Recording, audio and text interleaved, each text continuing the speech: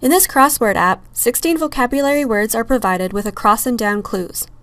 This app is great for vocabulary and comprehending all the words centered around the vocabulary and learning about reading comprehension. Drag a word from the list to its correct position in the puzzle. Use the arrows to scroll through all the clues.